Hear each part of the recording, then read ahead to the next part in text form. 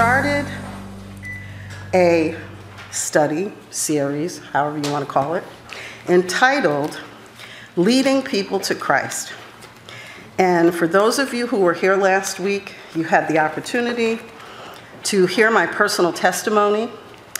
And I shared it with you because it, to me, really helps to explain why this series is so important to me.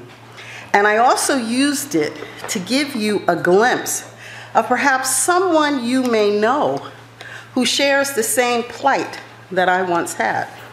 Now, unfortunately, there are people who go to churches all over our country who have never been exposed to Romans 10 9 and 10. They've never been told that they should even ask Jesus to become their personal Lord and Savior. Now, many go to church every week and they consider themselves devout Christians, just as I did, without ever learning the salvation message. Now, last week we also talked about the sense of urgency that we must have when it comes to sharing the good news of Jesus with others. We can't put it off until tomorrow because what quite, quite frankly and we discussed this too that tomorrow really may be too late now tonight i want us to deal with and dispel some of the many reasons christians are hesitant to share the gospel now i'm doing this this way because as i said and as i shared with you before I used to do this as a class, and I used to do it in a classroom setting. And for those who took the class, they can tell you they took tests, they had quizzes, it was school. Okay, I'm trying not to do it so much so that way, this go round. I'm really trying to do it more, I don't want to say conversational, but more in a way that we really dig deep and deal with the issues because my goal still remains the same. I want everybody to be comfortable with being able to share the salvation message with anybody, not just your family and your friends, but I want you to be able to stand on the line at the market or Starbucks and be comfortable with doing it. And one of the big things, and I've learned this through doing the classes a few times and just in talking to people in general, that the big elephant in the room, if you will, is the fact that people are hesitant and there's a reason. So that's what we're going to deal with tonight because I want to kind of put that to bed. And I want to do that because if we do, then you can receive all of the other information. Whereas if we don't talk about it, it's just hanging there like a little cloud. And you're half hearing what we're talking about because you're still thinking about the fact, I don't know. You know, you have all of that. So we're going to deal with all that, get that out of the way, so then everybody can just receive. Amen? Yeah. Okay, great. So that's why we're talking about it first. So, what, if I were to ask you, let's do it that way.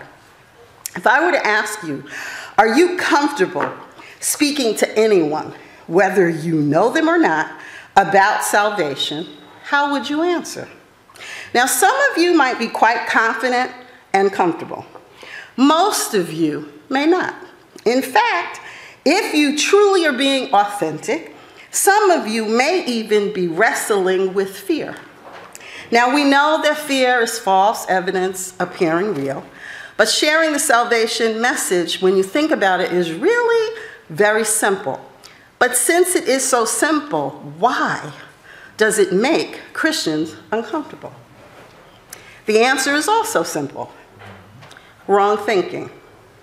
Most times we get trapped into a cycle of thinking filled with what if.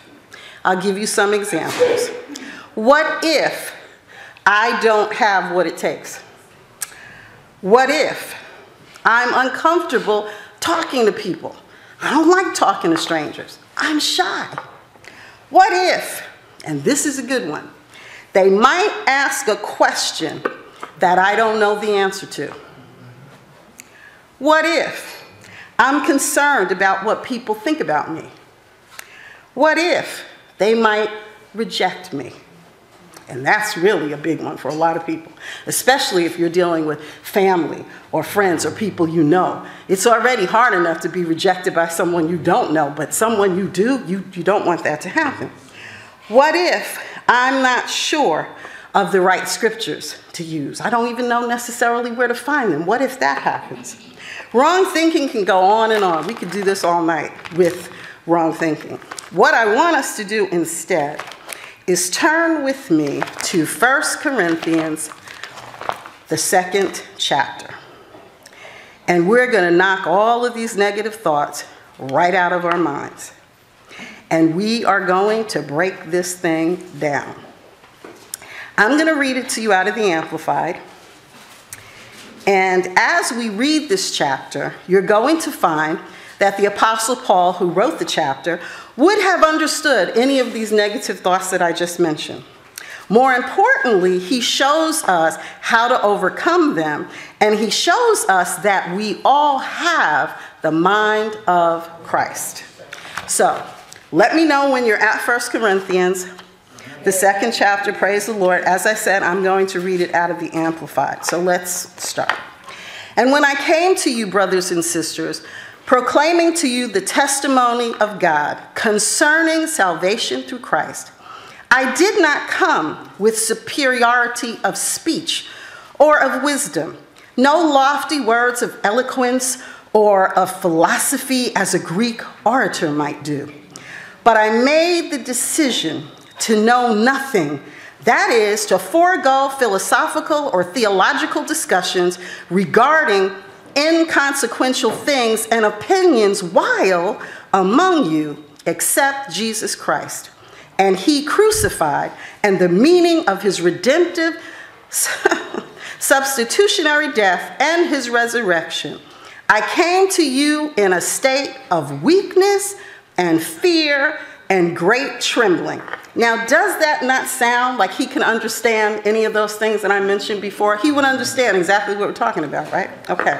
Verse 4 And my message and my preaching were not in persuasive words of wisdom, using clever rhetoric, but they were delivered in demonstration of the Holy Spirit operating through me and of his power, stirring the minds of the listeners and persuading them, so that your faith would not rest on the wisdom and rhetoric of men but on the power of God.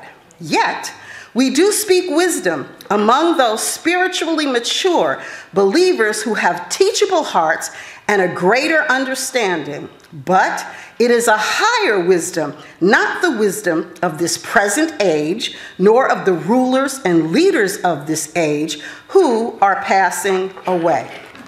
Now, verses 5 and 6, what I want us to see is that this shows us that there's a distinct difference between the wisdom of man and the mind of Christ. There's a difference, and that's what that just let us know.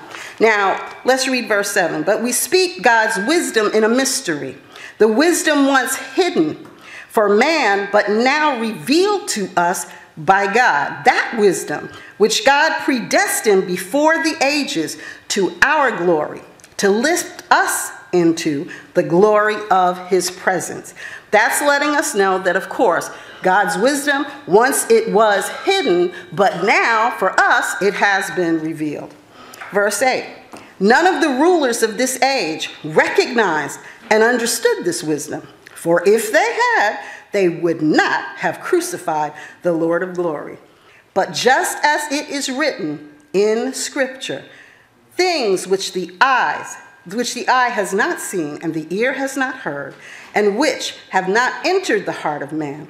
All that God has prepared for those who love him, who hold him in affectionate reverence, who obey him, and who gratefully recognize the benefits that he has bestowed. For God has unveiled them and revealed them to us through the Holy Spirit.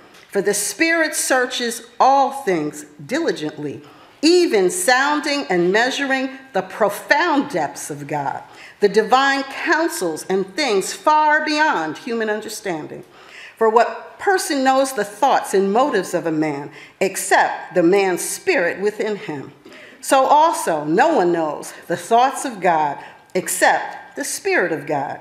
Now we have received not the Spirit of the world, but the Holy Spirit who is from God, so that we may know and understand the wonderful things freely given to us by God. Verses 10 through 12 have just let us know that it is the Spirit of God that gives us the mind of Christ. Verse 13 We also speak of these things not in words taught or supplied by human wisdom, but in those taught by the Spirit, combining and interpreting spiritual thoughts with spiritual words for those being guided by the Holy Spirit. But the natural, unbelieving man does not accept the things, the teachings, and revelations of the Spirit of God, for they are foolishness, absurd, and illogical to him. And he is incapable of understanding them because they are spiritually discerned and appreciated. And he is unqualified to judge spiritual matters. In other words, the mind of Christ cannot be understood by those who do not have the Holy Spirit. You must have the Holy Spirit, or otherwise, it's not going to mean anything to you. Verse 15, but the spiritual man, the spiritually mature Christian, judges all things, questions, examines, and applies what the Holy Spirit reveals, yet is himself judged by no one. The unbeliever cannot judge and understand the believer's spiritual nature. And what that's letting us know, quite frankly, is as believers, we receive discernment in spiritual matters as we operate in the mind of Christ. But notice, it's as we operate in the mind of Christ. Verse 16 For who has known the mind and purposes of the Lord so as to instruct him? But we have the mind of Christ to be guided by his thoughts and purposes. Think about it. Having the mind of Christ enables us to do what? It enables us to share the plan, the purpose, and perspective of Christ. I'll say that again. Having the mind of Christ enables us to share the plan, the purpose, and the perspective of Christ. Now, all believers possess this ability since he resides within us. And we have been hearing about this and being taught so wonderfully by Minister Scott with his series on dependence within dependence. The point is, we're learning all about that over and over. Well, turn with me to Luke's Gospel, and we're going to look at the 19th chapter, verse 10.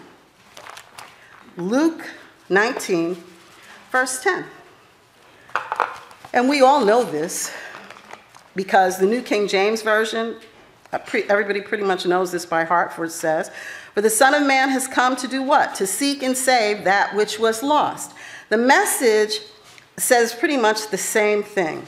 So, I mean, it just says it a little bit differently. He came to find and restore the lost. It's still the same. So, we know that Jesus came to seek and save the lost. Turn with me now to Matthew's Gospel, the ninth chapter, and we're going to look at verses 36 through 38.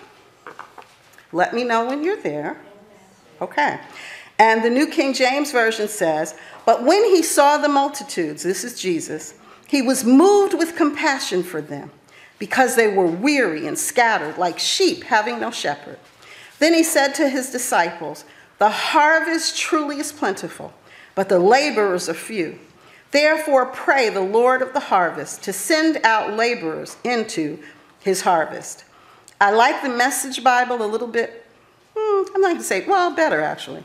And it says, Then Je- Jesus made a circuit of all the towns and villages, which means he went all over the place, okay? He taught in their meeting places, reported kingdom news, and healed their diseased bodies, healed their bruised and hurt lives. When he looked out over the crowds, his heart broke. I really like that because it explains again the characteristic of Jesus. So confused and aimless they were, like sheep with no shepherd. What a huge harvest he said to his disciples, How few workers on your knees and pray for harvest hands. Again, this is letting us see that Jesus was compassionate. So we've already established that we operate with the mind of Christ. So we should want to seek and save the lost. We are also filled with God's wisdom. So what does that mean? We should be compassionate. Now, let's also, this I kind of really like, so this is why I'm going to share it. Ephesians 4. Turn with me there, and I want you to just see verse 30. And I'm going to read it to you. I'll read it to you. We see it in the New King James Version, Ephesians 4, verse 30. And it says, And do not grieve the Holy Spirit of God, by whom you were sealed for the day of redemption. We get that? That's good. I like the message. That's what I want you to hear. For it says, Don't grieve God. Don't break his heart. His Holy Spirit moving and breathing in you is the most intimate part of your life, making you fit for himself. Don't take such a gift for granted. And I submit to you that we do have a tendency to do just that. And we know that we don't ever, ever want to grieve the Holy Spirit. So, should you still have some concerns, as you may, turn with me to Second Corinthians, and we're going to look at chapter 3, verse 6. And let me know when you're there. Second Corinthians chapter 3, verse 6. Okay. The New King James Version says, Who also made us sufficient as ministers of the new covenant, not of the letter, but of the Spirit. For the letter kills, but the Spirit gives life. And this Spirit that they're talking about here is the Holy Spirit. If we look at it in the Amplified Bible, Classic Edition, it says, It is He who has qualified us. And I see this is again why we read different translations, because it breaks down what does that mean. This is what it says. Who has qualified us, making us to be fit and worthy and sufficient. That to me is a little bit better than just saying we're sufficient, okay? as ministers and dispensers of a new covenant of salvation through Christ, not ministers of the letter, of legally written code, but of the Spirit. For the code of the law kills, but the Holy Spirit makes alive. I'd also, because I really apologize, I should have done this earlier, I welcome any of you who are viewing us from Periscope. We're blessed to have you with us, and we look forward to you coming and being here physically with us in our corporate office sometime. We're located right here at 470 7th Avenue in Midtown Manhattan. We would love to see you sometime. But in the interim, we're very blessed to have you with us here. Uh, so, after reading that, we have to think about the fact that so often Christians have no idea of the tremendous ability God has placed in them. And that, when you really are authentic and think about it, is true. We don't really think about that because this three dimensional world in which we live trains us to do what? Think about what we can do. And we think about that all the time. When you're in the midst of a storm, usually you first think about what you are going to do about it. How are you going to fix it? And it's because you've been trained that way from birth to think that way. So don't beat yourself up, but just understand that you've got to adjust that because that's what you are, you know, you think about it. If you have bills that come in, you start thinking, okay, how am I going to get the money to pay this bill? You know, I mean, that's, it's, and if none of you have felt this way, I'd be very surprised. I'm being honest and telling you I know I have, okay? Where you start to sit and think, how are you going to figure it out? What are you going to do? Even if you are going to the doctor and the doctor gives you a diagnosis that is not, you know, a good one, it's not a good report. you automatically start looking to yourself. Well, what can I do? You know, I need to change this or change that. Now, don't misunderstand me. I am not trying to say we're just supposed to sit and be little robots and just say, okay, Lord, um, I'm being attacked in my physical body, so I'm going to just press this button here, and then all of a sudden I'm just going to receive the manifestation of my healing. Or I have a mountain full of bills, and I'm going to press this other button over here, and the sky's going to open up, and the money's just going to fall in my hand. No, I'm not being ridiculous. But what I am saying is we have to recognize that we can't just look to ourselves to fix it. Yes, we are supposed to put feet to our faith okay, so that we are doing something, but we've got to trust Him. You've got to be all in with what it is that He has promised, for the word that He has promised is the only truth that you truly have. Because anything a doctor tells you is not the truth. What the word of God says is the truth. Your mountain of bills is not the truth. What the word says that He promised to meet all of your need according to His riches and glory. He didn't say anything about your own. So we have to stop thinking just about ourselves. And that applies even when it comes to ministering salvation to somebody else. Get yourself out of the way. Because to be quite frank, it's not about you. You didn't save anybody, you didn't even save yourself. So stop being so caught up in you and put your focus on Him. So you may not feel like you have what it takes to share the gospel.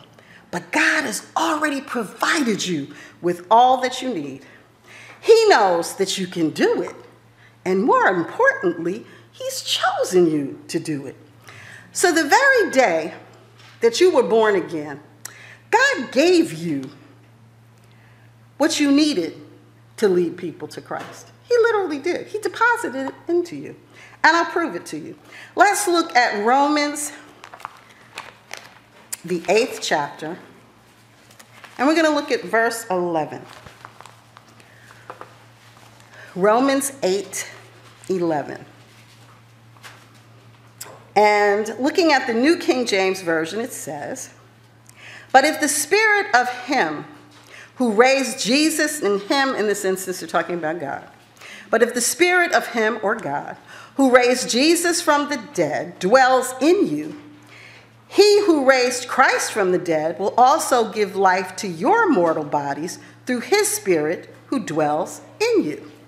Now, if we look at it in the Amplified Classic Edition, it says, And if the Spirit of him who raised Jesus from the dead dwells in you, then he who raised up Christ Jesus from the dead will also restore to life your mortal, short lived, perishable bodies through his spirit who dwells in you.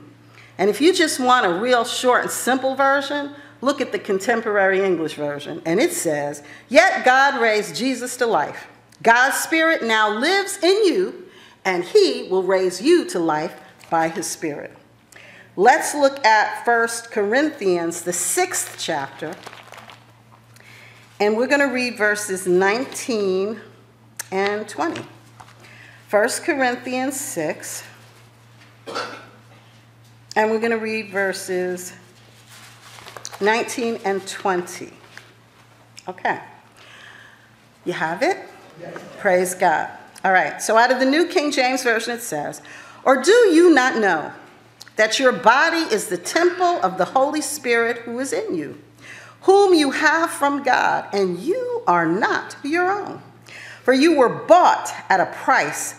Therefore, glorify God in your body and in your spirit, which are God's. The Amplified Classic Edition says, Do you not know that your body is the temple, the very sanctuary of the Holy Spirit who lives within you, whom you have received as a gift from God? You are not your own you were bought with a price, purchased with the preciousness, and paid for, made his own. So then, honor God and bring glory to him in your body. The Living Bible translation, which the acronym is TLB, says, Haven't you yet learned that your body is the home of the Holy Spirit God gave you? and that he lives within you? Your own body does not belong to you, for God has bought you with a great price. So use every part of your body to give glory back to God because he owns it. Then I want us to look at Colossians. We're going to look at Colossians, the first chapter, and we're going to read verses 15 through 19. Now, what I'm hoping you're getting to see, I'm really hoping you're getting it here, is that all through all these scriptures we're seeing we operate with the mind of Christ, we have God all through us, okay? He is in us.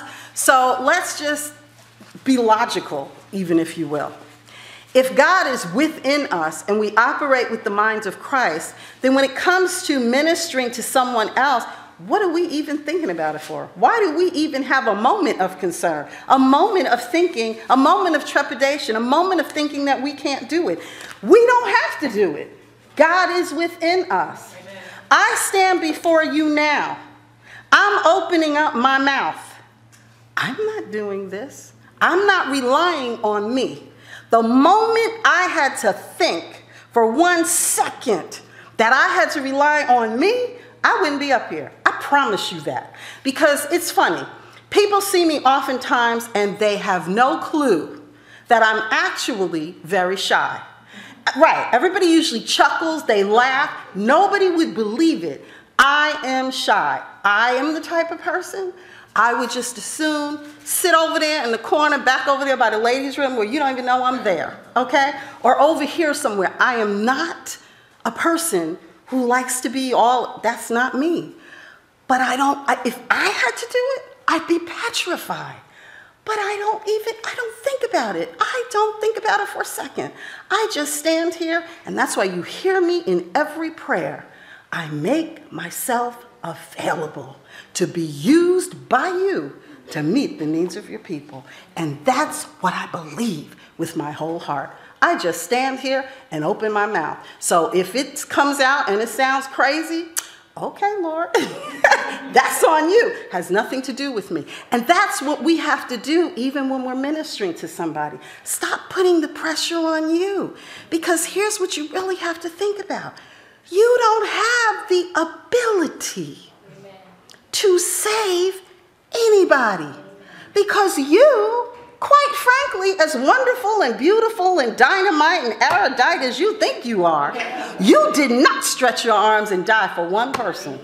So, since you did not do that, you don't have that. But you can make yourself available because you don't want, and when sometimes I think we don't always think about it when it comes to strangers, but you think about people in your family do you want to see them? Do you want to be with them forever? Or do you want them to spend time in the lake of fire? Do you want them to go to hell? Do you really? If you don't, why not share with them the gospel? What are you afraid of? I mean, it hurts me when I think of people, and one of the things that I will intercede for until I can no longer speak is when I think of mothers who have children and their children are not saved. Because I cannot even imagine what that's got to feel like to have a child and you don't know where they're, you, well, if they haven't received Jesus, you do know where they're going to spend eternity. But the fact that they're not going to spend eternity with you and they're not going to spend eternity worshiping the Father that is painful to me. I intercede for mothers all the time with that. Okay? It's so much better when we know where they're going to be. You know? So that's just on that level. But you I'm sure you know of people. I'm sure you have people that you are close to that you want to know that you know that you know that they are going to spend eternity with the Lord. And if you don't say something, and their tomorrow comes before you have said something, how are you going to feel? So I don't want that to happen to any of us. That's why we're doing this. and that's why you're here. So it doesn't have to happen. Praise the Lord. So Colossians 1, we're looking at verses 15 through 19. Now, what I'm going to do here is I'm going to read it to you out of the Living Bible You follow along with whatever translation you have, and then I'm going to read it to you out of the contemporary English version because it breaks it down very, very well. So, starting with verse 15 out of the Living Bible, it says, Christ is the exact likeness of the unseen God. He existed before God made anything at all. And in fact, Christ himself is the creator who made everything in heaven and earth the things we can see and the things we can't. The spirit world, with its kings and kingdoms, its rulers and authorities, all were made by Christ for his own use and glory. He was before all else began, and it is his power that holds everything together. He is the head of the body, made up of his people, that is, his church, which he began. And he is the leader of all those who arise from the dead, so that he is first in everything. For God wanted all of himself to be in his Son. Now, the contemporary English version says it like this Christ is exactly like God, who cannot be seen. He is the firstborn Son, superior to all creation. Everything was created by him, everything in heaven and on earth. Everything seen and unseen, including all forces and powers and all rulers and authorities. All things were created by God's Son, and everything was made for him. God's Son was before all else, and by him everything is held together. He is the head of his body, which is the church. He is the very beginning, the first to be raised from death, so that he would be above all others. God himself was pleased to live fully in his Son. Now, you may not realize it, but the same Spirit that anointed Jesus to preach the gospel has anointed you to do the same. Turn with me to Luke's gospel, the fourth chapter. And we're going to look at verses 18 and 19. We're going to look at it in the New King James Version first. And you're there? Okay, this is Luke 4. Starting with verse 18, it says, The Spirit of the Lord is upon me, because he has anointed me to preach the gospel to the poor. He has sent me to heal the brokenhearted, to proclaim liberty to the captives, and recovery of sight to the blind to set at liberty those who are oppressed, to proclaim the acceptable year of the Lord. Now, I'm going to read it to you out of the Amplified, just the traditional Amplified. And it says, The Spirit of the Lord is upon me, the Messiah, because he has anointed me to preach the good news to the poor. He has sent me to announce release, pardon, forgiveness to the captives, and recovery of sight to the blind to set free those who are oppressed, downtrodden, bruised, crushed by tragedy, to proclaim the favorable year of the Lord, the day when salvation and the favor of God abound greatly. Now, we also have the ability that Jesus had as well. And that we can find based upon what's written in Second Corinthians the third chapter. So turn with me there, please. Second Corinthians, the third chapter. And we're going to look at verses 5 and 6. Now, if we look at it in the New King James Version, eh, it's okay. I'm not really in love with this translation of it, but it's okay. So we're going to read it. And it says, as a matter of fact, let's read it together make sure we're all on the same page and keep all of you awake in case you sleep. Okay, uh, are you ready? ready, read.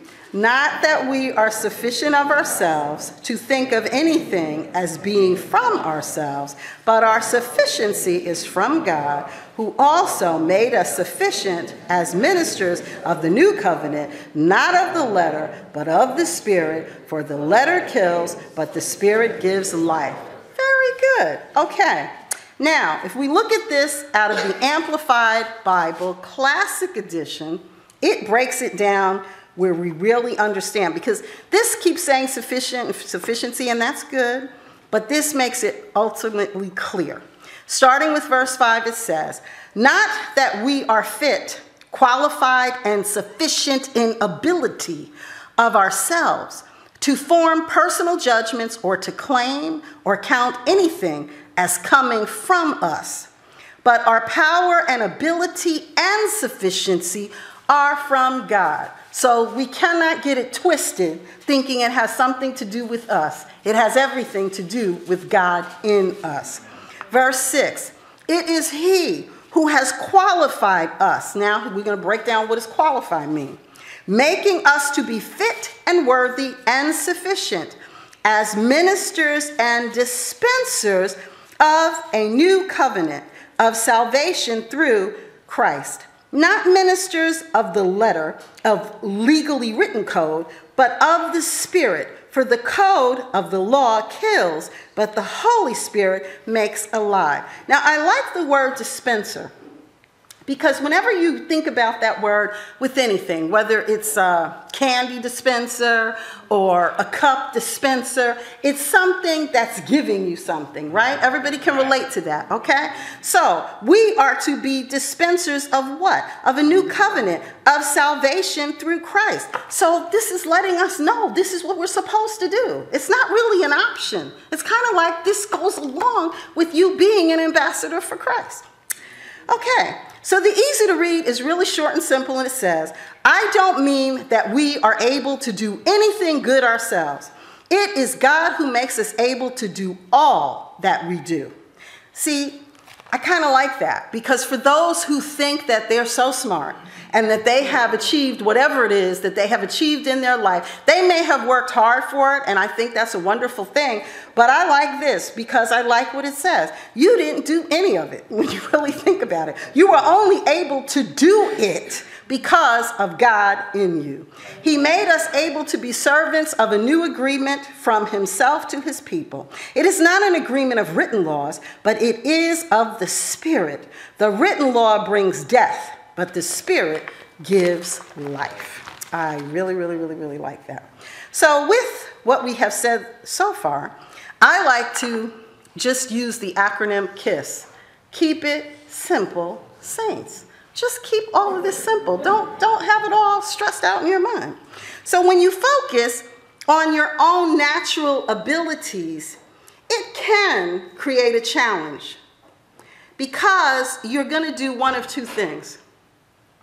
You're either going to lack confidence in yourself, causing you to rarely, if ever, share the gospel with others.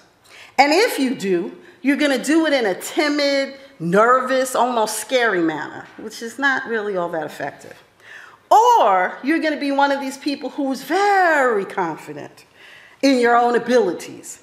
And this is really dangerous because you will share the gospel trusting in your capabilities instead of his. In other words, you allow your ego to get in the way. And we all know that the acronym for ego is edging God out. In other words, you are so, you know, you think you got it all together that you don't need to listen to the Holy Spirit. You're going to do it. And you'll find that, yeah, you could do that. And you may share, you know, the, the word, but it's not usually something that's very lasting for the person that you shared it with. So therefore, eh, it didn't really work well. So it's not the way to go. Rather, what we should do is we should have the attitude like Jesus. Let's look at John's Gospel, the fifth chapter. And we're going to look at two verses of scripture there. We're going to look at verse 19, and then I'm going to have you drop down to verse 30. So let's start with verse 19. This is John's Gospel, the fifth chapter, verse 19, and we're going to start with the New King James Version. And verse 19 says, Are you there? Yes. Then Jesus answered and said to them, Most assuredly, I say to you, the Son can do nothing of himself. Now, Jesus even says he can't do anything of himself. So who are we to walk around and act like we got it all together and we can do it? Oh my goodness. Okay. um, but what he sees the Father do. He can do nothing of himself, but what he sees the Father do. For whatever he does, the Son also does in like manner. Now, if we look at that same verse out of the Amplified Bible Classic Edition, it says, So Jesus answered them by saying, I assure you, most solemnly I tell you, the Son is able to do nothing of himself, of his own accord, but he is able to do only what he sees the Father doing. For whatever the Father does is what the Son does in the same way in his turn. Now, if we drop down to verse 30 in that same chapter, Again, he just reinforces it because this is Jesus speaking, and he says, I can of myself do nothing. As I hear, I judge, and my judgment is righteous because I do not seek my own will, but the will of the Father who sent me. And if we look at it in the Amplified Bible Classic Edition, it says, I am able to do nothing from myself independently of my own accord, but only as I am taught by God and as I get his orders. Even as I hear, I judge, I decide as I am bidden to decide. As the voices come to me, so I give a decision. And my judgment is right, just, righteous, because I do not seek or consult my own will I have no desire to do what is pleasing to myself, my own aim, my own purpose, but only the will and pleasure of the Father who sent me. Now, can you imagine if we just did that? I mean, probably if we could just take 24 hours and just do that instead of doing what we think. Boy. So it is paramount that you remember to look to God and trust that His ability will work through you. Exercise your faith. Put your confidence, rather than putting it in yourself, put it in His faithfulness. When you do that, He is able to bring results beyond what you will ever know. Now, your job is simply to plant and water the gospel wherever you go and leave the harvest up to Him. See, that's the thing that many Christians get caught up with too, but I understand it. So I'm not knocking you. And when I bring up these things, please know I'm not knocking you. I get it. Because we are, again, taught a reward system.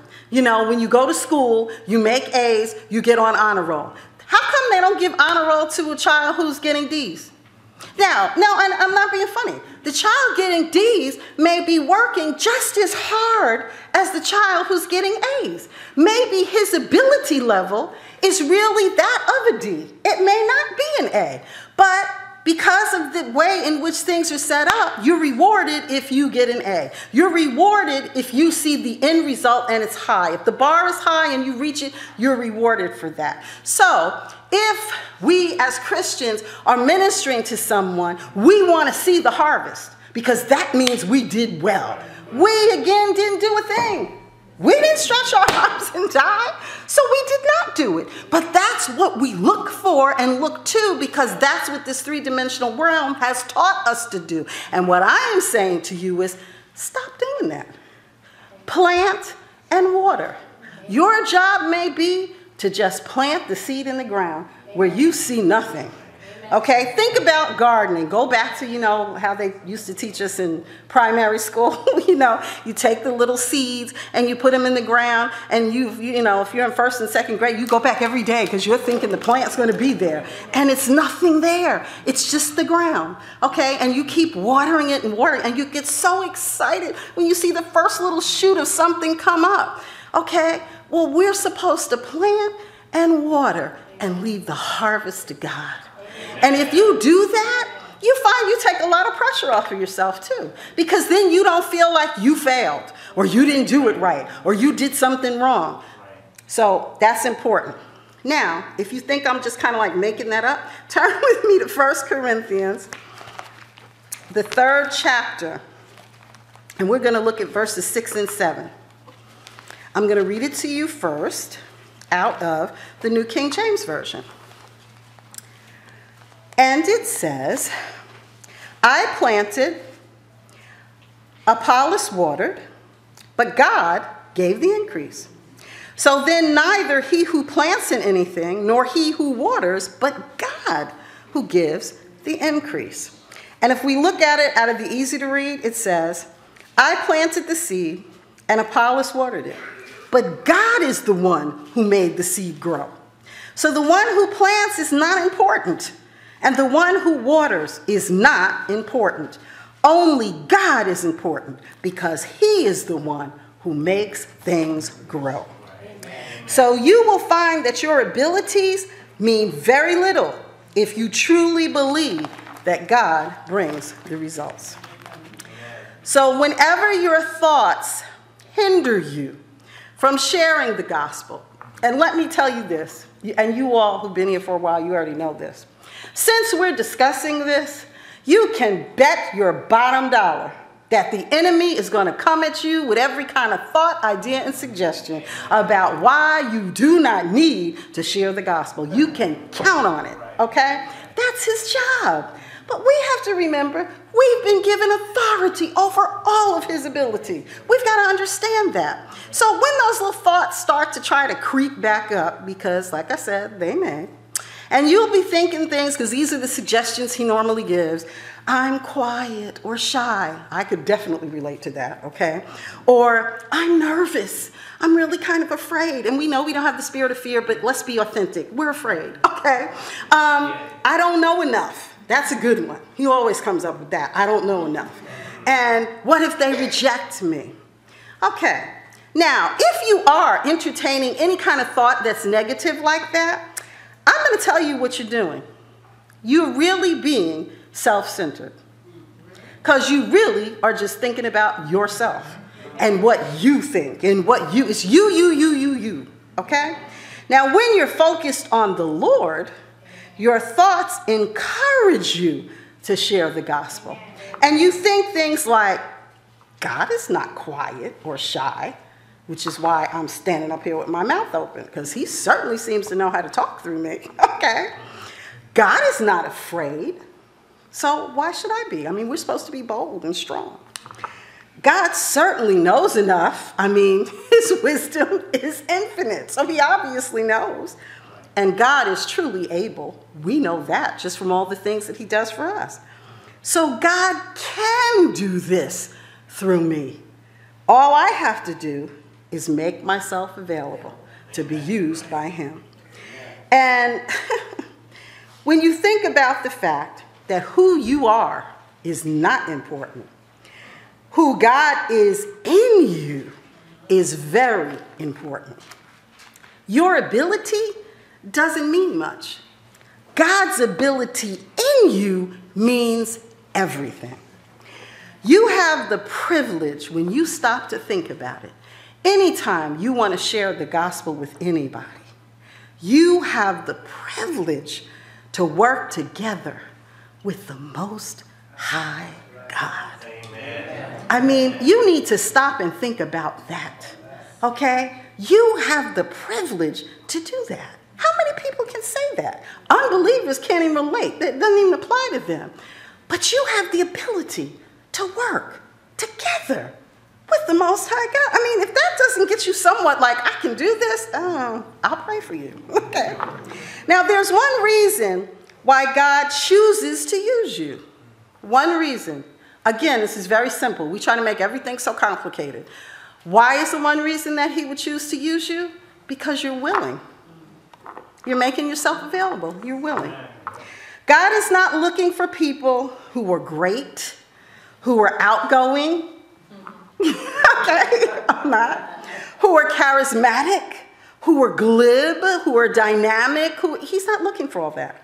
He is looking for any person who is willing to allow him to work through them. Let's look at Second Chronicles the 16th chapter, and we're going to look at verse 9. Second Chronicles, the 16th chapter, verse 9. And let me know when you're there. Okay. Second Chronicles 16, verse 9. The New King James Version says, For the eyes of the Lord run to and fro throughout the whole earth, to show himself strong on behalf of those whose heart is loyal to him. In this you have done foolishly. Therefore, from now on you shall have wars. Now, I'm going to read it to you. Okay, I'll do it this way.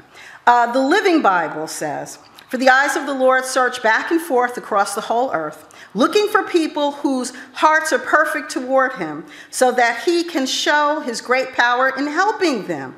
What a fool you have been. From now on, you shall have wars. Now, I'm going to read it out of the expanded, and as I shared with you, um, might have been last week, I don't know, could have been Tuesday, whenever. The reason I like the expanded version, am I out of time? Oh, I am so, okay, now this wasn't, okay, I'm out of time. so when we come back, we'll read it out the expanded version. Okay. The expanded version, and you can read this on your own before we come back. Okay, my clock wasn't up, so don't, don't throw stones at me. Uh, but anyway, the expanded version, the acronym is E, X is in X-ray, B is in boy. And I will say this to you, I can share this a little bit. The reason why I have started delving into the expanded version is because it's extremely literal. It breaks every single word down. So there are some things that other translations kind of gloss over and miss. This does not. And I like what it was going to do with that little translation, but we'll come back to it uh, next week. Thanks for joining us. Our hope is that you received something that you can apply to your life and strengthen your faith. At Crenshaw Christian Center, New York, we believe that the Word of God is practical for everyday application. If you'd like to support the ministry with your tithe and offering, you can mail them to Crenshaw Christian Center, New York, 450 7th Avenue, Suite 2111, New York, New York 10123. We now offer the convenience of text and online giving, one of the most secure ways to give. Try it now. Simply text EAST-G from your smartphone to 28950 and follow the prompts. You can even specify a designation for your gift. Text EAST-G for general donation, EAST-T for tithe, or EAST-O for offering. Each transaction needs to be its own individual text message. You can also visit our website, CrenshawChristianCenterEast.org, and click the Give tab to begin your experience. Set up recurring donations or give one time gifts. This experience is easy to use, secure, and requires a one time registration only. Giving the second time is even easier. Simply text EAST-G to 28950 with all your information securely stored. We appreciate your continued support and stand in agreement with you for the manifold return in your life. Thanks again for watching, and remember, we walk by faith, not by sight. We would like you, our viewers and partners, to join us in honoring the legacy of the Apostle by making a donation to the Apostle Frederick K.C. Price Library. The library will be on the grounds of the Faith Dome in Los Angeles, California, and it will be open to the public. It will be a place of study, learning, and research, available for anyone desiring to further their knowledge and understanding of the Christian faith. Visitors will also have a chance to learn more about our founder and his impact on the body of Christ and the world at large. You can mail your donations to Crenshaw Christian Center, New York, 450 7th Avenue, Suite 2111, New York, New York 10123.